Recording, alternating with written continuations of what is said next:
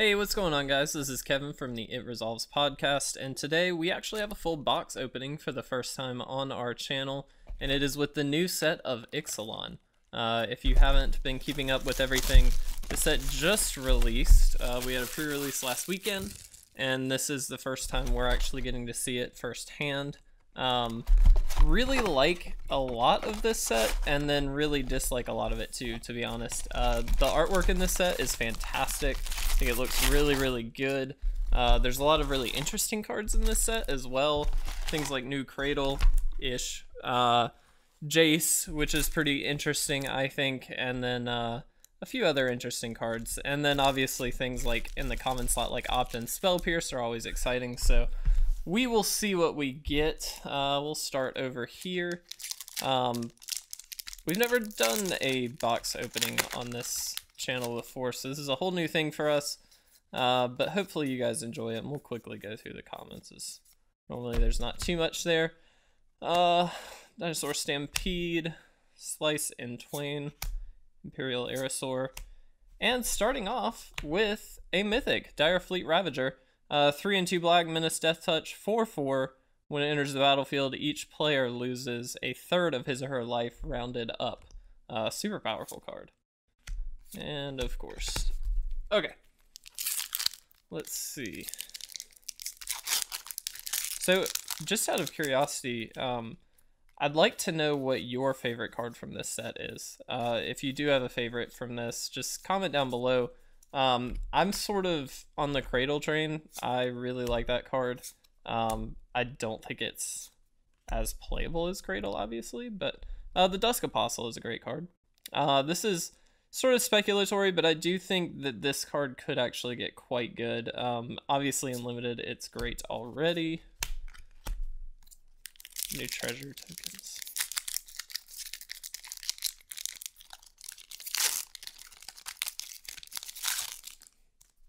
All right. I love the art in this set. I mean, the vivid colors in this set just look absolutely beautiful. Uh, the lands are great as well. Uh, let's see. Sky Terror is a great card. A foil chalice. Cool, cool. And Bloodfast. So this is one of these sort of flip enchantment lands. Uh, this one, basically, once it flips, you can tap it and sack a creature, and you gain life equal to that sac sacrifice creature's toughness. This is sort of a cycle of cards, obviously. Um, the Cradle being in there is one of those. Uh, there's a few others, and I don't remember the names of them offhand. Um, but they're all quite interesting, and obviously they're really powerful effects on the flip side, but it takes a lot to flip them. Uh, so this sort of being another example, actually. Dowsing Dagger. Um, basically, you equip it to a creature, and when it deals damage to a player, you get to transform it, and then on the land side, uh, you can tap it and add three color, three mana of any color to your mana pool. Uh, so repeated Black Lotus, theoretically. And that's sort of the, the theme here is, you know, these cards are super powerful on the on the flip side, but is it is it really worth it to have to flip it and do all that? Um, I think there's some some split there. Hey, look at that. So new Jace, uh, if you don't know, this card is really interesting um, due to doubling season actually. So uh, if you play doubling season, then you play Jace, you can infinite alt Jace uh, for more and more Jaces, and then create theoretically infinite tutus or do something like that. So it's a really powerful card. Uh, and at three mana, obviously three mana planeswalkers generally are pretty good. Uh, I say that knowing that there are a few that are not as good as the others, but uh, Ashiok comes to mind as sort of the classic example, and that card, oh, that card is insane. So, commons. There's a new spell pierce. I love the art on that spell pierce. It's absolutely gorgeous. Uncommons, walk the plank. Fleet Swallower, this is an interesting one. Um, basically a mill bomb.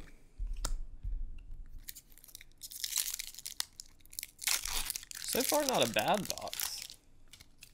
Uh, what are we hoping for? The other Planeswalker would be kind of nice. Uh, new Duress, by the way, also looks great. Ah, Ripjaw Raptor. So this card's really cool. Uh, it uh, is one of the classic enrage cards. Enrage, excuse me. Uh, and basically, this is a new mechanic in this set that whenever this creature is dealt damage, you get an effect, and in this case, you get to draw a card. So right off the bat, a four mana four five is great, but with that ability, you get to hopefully get some card advantage off of it and things like that, which just make it insane. Um, especially in a limited environment, and there's a lot of cards that interact with that that you know you can deal damage to your own creatures or something like that, and then gain maybe a little bit of extra value off of those cards as well, and so it just sort of stacks. Hey, the Honor Guard. So this we talked about in one of our episodes, and this is one of the cards that I was actually most looking forward to, just because it's a classic Hate Bear effect. Um, basically, creatures entering the battlefield don't cause abilities to trigger, so uh, shuts down things like Snapcaster Mage and things like that, which are obviously problematic cards uh, if you're playing against them, but it shuts them down very quickly and very efficiently, which I think is fantastic. Uh, let's see. Waker of the Wilds. So this is also an interesting card. Uh, I, I, feel like I keep saying that, but uh, first of all, the art's beautiful. It's a uh, four mana three three, which isn't great, uh, but its ability is pretty interesting. That you can put one one counters on lands you control, and they also gain haste. Um, and this was actually labeled, I think, by Strictly Better MTG, if I'm not mistaken, as one of the sleepers in the set uh, because you can actually use that ability right off the bat. You don't have to tap the creature, which is pretty pretty awesome. Uh, it's pretty good, I think. The captain, eh, not super excited. Um, let's see, what else do we get? Another new spell pierce. No ops yet that I've seen at least. Uh, Lightning Strike, new Lightning Strike art looks great. Ashes of the Abhorrent. This is sort of a rest in peace effect, but it's actually really, really good. A Pounce. Uh, Pounce is actually a great limited card. Target creature you control fights a target creature you don't control. Instant speed for 2 mana. Uh, very similar to things like Prey Upon, which have always been great removal for green. Uh, fighting is a very powerful effect, especially in this set. Uh, Primal Amulet. So this is another one of those lands. Uh, this one seems just too slow to really do too much. Basically, it it benefits off of uh, casting instants and sorceries. So once it has four counters on it, which you get one every time you play an instant or sorcery, uh, you can flip it. And then when you tap this land to pay for an instant or sorcery, you get to copy it uh, and choose new targets if you'd like, which is absolutely a powerful effect. There's no doubt about that. But uh, at 4 mana just to play it, and then you also have to play a lot of other things, seems not great, I guess. Um, maybe there will be a, a, deck that can abuse it, but as of as of now, I can't see it. The Butcher. Uh, this is a very great card. Um, I really like this. It's a 5 mana 4 4 uh, that basically has Vigilance and Lifelink, and you can tap it, pay 7 life, uh, destroy target non-land permanent. That's any non-land permanent, which is hugely powerful. Uh, but you can only do it during your turn, which, I mean, is a drawback, but, you know, it's still a really powerful card, especially in a limited environment. Uh, you'll want to take that. Um, that being said, I don't know. It's I want to see it in constructed. I wonder if we will, but I think that seven life might be a bit of a steep cost. Uh, let's see. Favorable Winds is an awesome card. Hey, Admiral Beckett Brass. Uh, this is the Pirate Lord. Hey, wow, it's a great pack. Um, the Pirate Lord, other pirates you control get plus one, plus one. It's a 3-3 itself with Grixis colors and one. Uh, at the beginning of your end step, gain control of target non-land permanent controlled by a player who was dealt damage by three or more pirates this turn, uh, which is obviously hugely powerful effect. You get to steal things. Um, but it, it's a pretty steep requirement, so you'll be wanting to be very aggro, uh, which Grixis, I mean, Grixis Death Shadow is aggro, I guess. And then we also have the foil Bloodfast, uh, which I love the foil lands. I, I doubt you can see this all that well. Let's try and do this. Let's get that up close and then bring it back. You can see some of that foiling, which just looks beautiful on that card. I love that. All right, let's see. That was an awesome pack. Field of Ruin. Uh, very good card, actually. We're seeing that um, take over some of the Ghost Quarter job. Fathom Fleet Captain, pretty good. Um, so Field of Ruin, if you don't know, basically is like uh, four more copies of Ghost Quarter in any sort of landlocked deck, uh, which is awesome. Um, it's not, I would say, maybe not quite as good just because you have to actually pay mana to do it, but uh, it's still very good.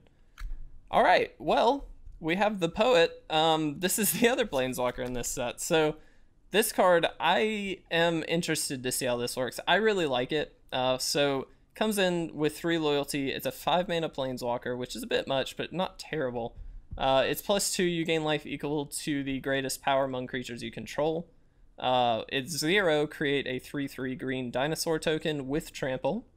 Uh, and then minus X, uh, it deals X damage divided as you choose among any number of target creatures, and creatures dealt uh, damage this way can't block this turn. So, an interesting planeswalker, I think, but a very good one. I I also believe that we'll see some play with that. So, hopefully, at least, I really do like it. Deeproot Champion. Some of the new Merfolk cards. Um, Merfolk obviously being a huge tribe in this set. Merfolk, pirates, and dinosaurs all being very powerful along with vampires, but um, do spell pierce. Repeating Barrage. This is an interesting card. Um, I never really gave this much thought, but I'd be interested to see how it actually plays out. So for three mana, it's a sorcery. It deals three damage to target creature or player. Sure. Uh, it also has the raid ability for three and two red. Return uh, this card from your graveyard to your hand. Only activate this if you've attacked with a creature this turn. So the reason I'm kind of on the fence on this card is because you can actually uh, just keep recurring it, which seems really good. I mean, it costs a lot of mana to do it, but sometimes in like a red deck wins style thing, um, you may not have a whole lot of uses for your mana late game, so maybe that is the the way to go. Uh, Ruin Raider, also featuring the raid mechanic. No new Cradle yet, but still the card I guess I'm hoping for. Uh, along with a big nasty dinosaur, I can't think of the name, uh, but it is just a massive beating. The Hexproof, uh, I think it's the most expensive card in the set actually right now. Uh, Caravel. Um, hugely, hugely strong. Just on raw power level, it's awesome. It can't be countered. It has hexproof and trample. I think it's like a 7-6 for either 6 or 7. It's, I mean, it's just insane. Such a great card. Let's see. Ah, okay. So this these uh, lands I actually really like as well. There's a Ranging Raptors. So um, these obviously are reprints. This is Sunpetal Grove, the green-white uh, reprint here, but basically it, they enter the battlefield tapped unless you already control a forest or a plain, uh, and that sort of works with all of the cycles, and it's a green-white dual land basically. But I really like the new art on these. Um, again, I, I keep sort of harping on the art, but it's just so good in this set. So uh, really, really pretty land cycle. Um, happy to pick up a a couple of those if we can. Let's see. Woo, there we go. A Ripjaw Raptor, but foil this time, which is absolutely great. I think it's like a $10 card. I might be wrong on that. Um, here's another one of these lands. Uh, this is the blue one, which basically gives you, I believe it's a Fact or Fiction on the backside. So you can tap two in a blue, uh, and tap the land and then look at the top four cards of your library. You may reveal a non-creature, non-land card from them and put it into your hand. Put the rest on the bottom of your library in any order. I'm sorry, that's not Fact or Fiction. Um, but it is super powerful still. So definitely a good uh, land there. But again, you do have to still flip it. There's the new opt. Um, which, I don't know. I'm skeptical on whether or not that'll actually be good.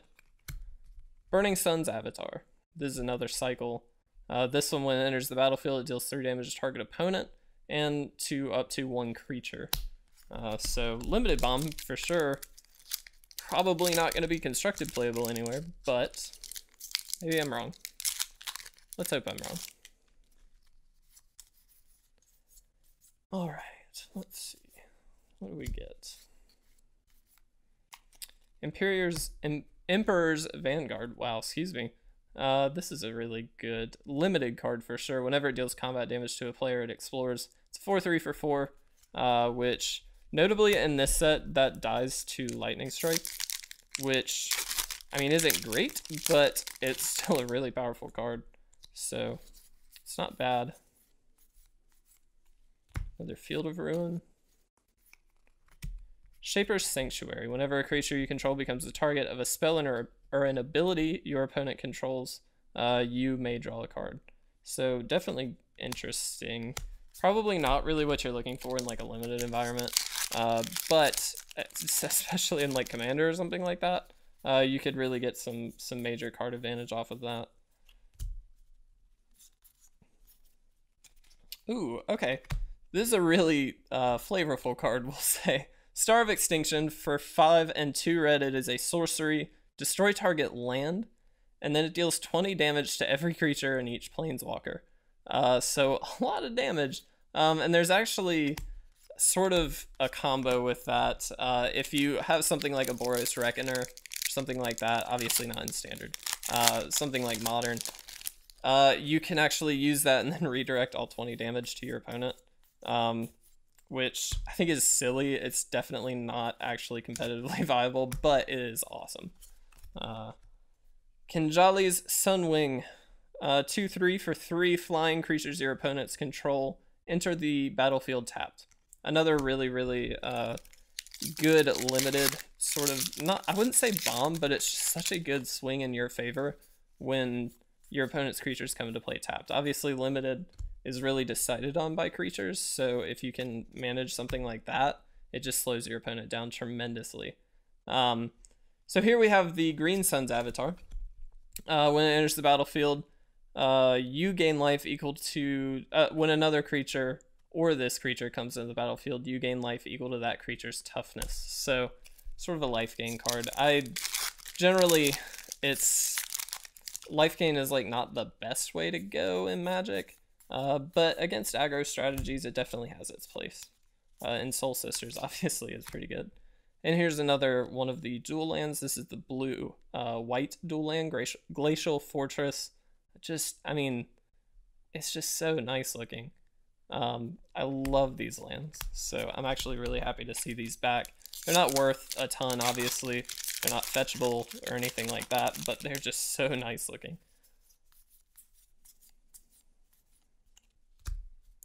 Let's see.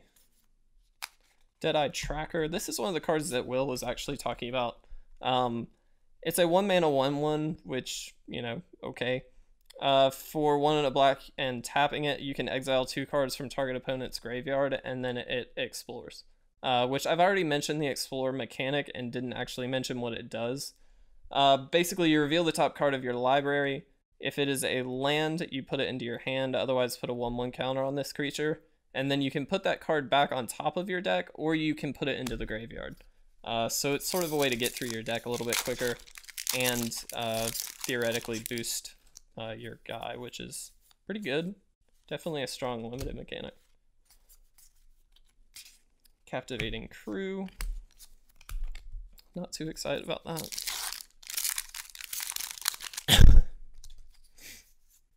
Let's see. Something good. Let's get something really good this pack. Uh, uh, okay. I mean, it's not super good. It's Legion's Landing. Uh, this is another one of these flip lands. And basically, on the flip side, the the big payoff is that you can tap two and a white and then tap this to create a 1-1 white vampire token with lifelink. So, it's not... I mean, it's okay. I love these these land flip cards, but they just seem like you have to really invest a lot um, which I mean in some cases is fine, but ideally not the best. Spell Swindle. This is the new big counter spell. So it's obviously expensive for a counter spell. Three and two blue, which is a lot. Uh, but you counter target spell and then create X colorless uh, treasure artifact tokens, where X is that spell's converted mana cost. Uh, and those you can sack and add mana to your mana pool of any color. so reminiscent of um, what is it? uh, the big counter spell that's being reprinted uh, in Iconic Masters, where you get to basically add mana to your mana pool for that, uh, which is a powerful effect, and maybe this is sort of the fixed version. Uh, Drowned Catacomb, one of the best, I think, of this cycle. Uh, and by that I mean best looking. That's just awesome. Two more packs. What are we hoping for? I guess still the new Cradle. Is there much else? We got both of the Planeswalkers, which is pretty awesome. Um, well, here's a good one. Kopala, Warden of Waves. This is also a card that we talked about in uh, the podcast. Basically being a modern playable fish for uh, the Merfolk deck, which is super good, uh, but it's really only sideboard relevant. That being said, when, in the games where you want it, you really want it because it really does slow people down. It makes it really hard to deal with your creatures, uh, at least efficiently. Um, so, really happy to get that. Last pack, let's see what we get. Uh, all right, Dragonskull Summit. So, didn't get quite all of the uh, the dual lands here, but we got four out of the five, I believe. Uh, so that's pretty cool. And really, this box wasn't too bad. I mean, we got both of the Planeswalkers, which is great. Uh, Kopala, a few of these dual lands, which is also great. Um, what else? What was the other big stuff? I love these flip cards. Ah, Foil Ripjaw Raptor was pretty good, uh, as well as the Bloodfast. So yeah, I'm happy with this box. Guys, thank you so much for hanging out with us and watching this little uh, box break that we've done. We hope you enjoy it. If you like these videos, let us know. We'll start to do more of them. Uh, but until next time, guys, thank you so much for watching, and we will see you later.